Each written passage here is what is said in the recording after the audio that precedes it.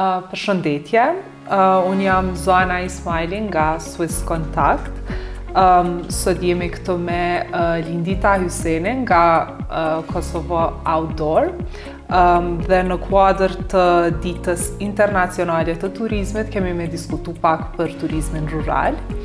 Atëherë, Lindita, fillimisht po ju japi pak hapsinë me u prezentu edhe me na tregu për prapavijën e juaj edhe domethënë eksperiencën në turizëm, edhe pastaj kemi përgatit disa tema të shkurta të cilat kemi me i diskutu sot. Pra unë jam pronare e operatorit turistik Kosova Outdoor, e cila merret ekskluzivisht me turizëm të qëndrushëm, domethënë këtu hyn edhe turizmi malor dhe turizmi rural, si dhe jam lidere për Slow Food Dugagjini, domethënë lidere e konviviumit e cila merret ekskluzivisht me promovimin e produkteve lokale si dhe mbështetjen e fermerëve lokalë. Um, shumë mirë. Uh, Atëherë, uh, Lindita, nëse mundeni me na tregu pak um, uh, definicionin e juj uh, të turizmit rural, sepse për shumë njerëz është ende um, diçka jo komplet e qartë, um, edhe ndoshta me na tregu pak se qysh ndërron turizmi rural prej um, domethënë um, mënyrës ma tradicionale të zhvillimit të turizmit. Sipas organizatës botërore të turizmit, Qysh nga pandemia, fokusi kryesor është zhvillimi dhe promovimi i turizmit të qëndrushëm. Turizmi rural hyn te turizmi i qëndrushëm, dallon nga turizmi masiv, sepse në turizëm rural klientët apo travelers, turistat kanë mundësi që t'i takojnë direkt popullatën lokale, të konsumojnë produktet e vendit dhe njëkohësisht edhe pse knaqen, me aktivitetin e turizmit, ata njëkohësisht ndikojnë në ekonomitë familjare të njerëzve lokalë. Po, në këtë aspekt kanë mundësi edhe me pa ndoshta në mënyrë ma të drejtpërdrejtë, mënyrën e jetesës të komuniteteve lokale edhe rurale edhe Um, krejt kjo e bën pak ma të veçantë edhe ndoshta pak ma um, autentike um, në aspektin e, e, e konsumimit edhe të, të zhvillimit të turizmit prej turizmit me cilin jemi mësu zakonisht me. Po pra, kjo është qëllimi i këtij lloji të turizmit, Turisti e ka mundësinë të jetë pjesë e familjes, po. ku akomodohet apo ku ushqehet, si dhe mund të bëhet pjesë e aktiviteteve të ndryshme që i ofron ai akomodim apo restoran apo çkado. Po. Mund të mund të gatuajë së bashku me ta, mund të jetë pjesë e prodhimit të ndonjë produkti, djathit, po. kosit, gatimeve të ndryshme. Të pjatave tradicionale. Të pjatave të ndryshme tradicionale të vendit.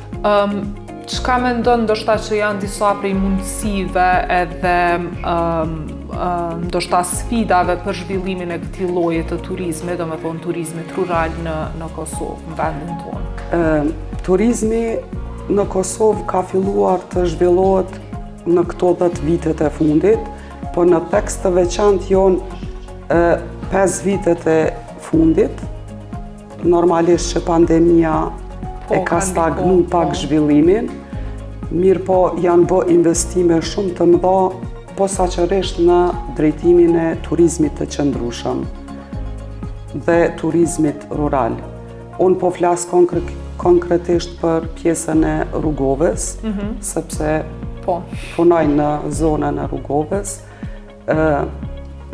I ka ndihmu jashtëzakonisht shumë të gjithë akterët të cilët kanë qenë të kyçur në këtë zinxhir të, të këtij lloji të turizmit, duke fillu nga fermerët lokalë, që bojnë produkte të ndryshme dhe i furnizojnë akomodimet familjare, udhërrëfysit lokalë, transportet, restoranet, e tjera. Po, ndoshta mundesh me na tregu një produkt ose shërbim tipik të që bën pjesë, domethonë, në turizmin rural që ofrohet në pjesën e Rugovës?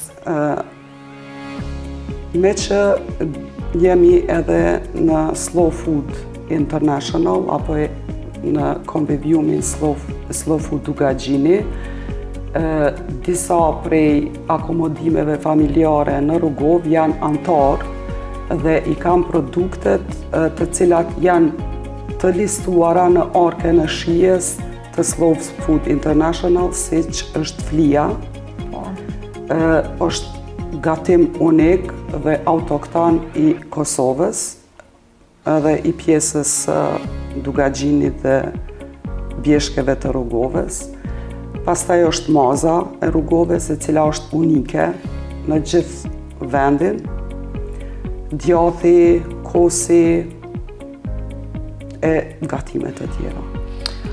Um, domethënë, e, e përmendët pak edhe um, aspektin e pandemisë në, në ndikim në turizëm në përgjithësi, um, edhe a mendoni që ka pas um, në, um, domethënë, në aspektin e ndryshimit të preferencave të turistëve ose të vizitorve drejt produkteve që e marrin produkteve edhe shërbimeve në rastin e turizmit që e marrin parasysh edhe aspektin e qëndrueshmërisë në mënyrën se si ato zhvillohen, në mënyrën e ndoshta edhe në aspektin e biznes modelit të tyre, në këtë rast për shembull një guest house ose një bujtinë në vend të një hoteli që domethënë bazohet në një model të biznesit ku varet prej turizmit më, më masiv.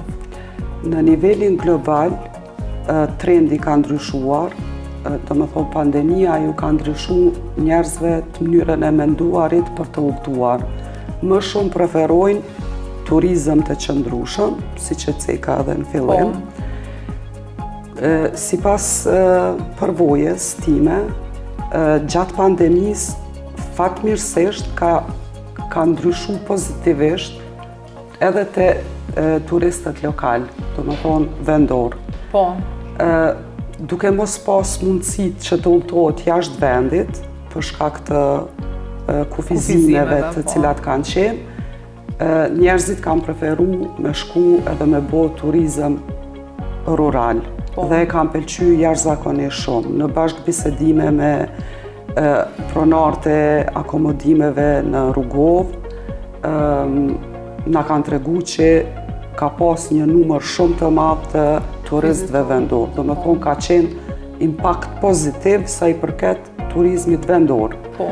Ndërsa ndërkombëtar natyrisht që ka mm. pas mungesë të madhe. Ndoshta kjo pak ka tregu edhe për aspektin e qëndrueshmërisë të um, konsumimit të turistëve ose vizitorëve lokalë në aspektin që në rast të ndonjë um, eventi uh, ose fatkeqësie në këtë rast internacionale si pandemia, atëherë duhet me domethënë, tregojmë që gjithmonë mundemi me u mbështet në konsumim të, të brendshëm edhe në turizëm lokal, siç ka qenë në, në uh, rastin e vitit 2020 edhe 2021. Po, po, patjetër. Um, faleminderit shumë Lindita. Ishte kënaqësi. Gjithashtu. Faleminderit.